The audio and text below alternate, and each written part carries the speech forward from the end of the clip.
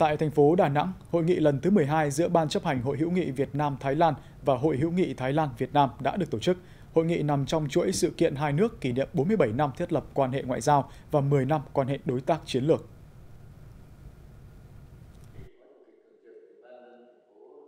Qua 10 năm là đối tác chiến lược, quan hệ hữu nghị và hợp tác Việt Nam Thái Lan đã có những bước tiến vững chắc trên các lĩnh vực chính trị, kinh tế, ngoại giao, văn hóa, quốc phòng, an ninh.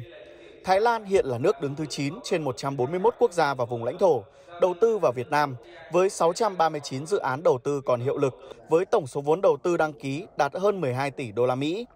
Các doanh nghiệp Việt Nam cũng đang triển khai khoảng 15 dự án đầu tư sang Thái Lan với tổng số vốn đầu tư cấp mới và tăng vốn là 91,6 triệu đô la Mỹ, đứng thứ 22 trên 55 quốc gia và vùng lãnh thổ đầu tư vào Thái Lan.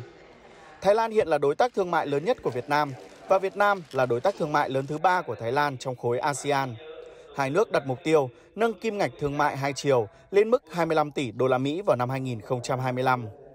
Đây cũng là hội nghị liên tịch đầu tiên được tổ chức sau đại hội lần thứ 5 của Hội hữu nghị Việt Nam Thái Lan.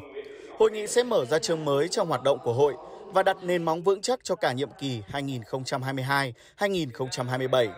Đây chính là nền tảng quan trọng tạo đà đưa quan hệ hữu nghị và hợp tác hai nước ngày càng phát triển lên tầm cao mới.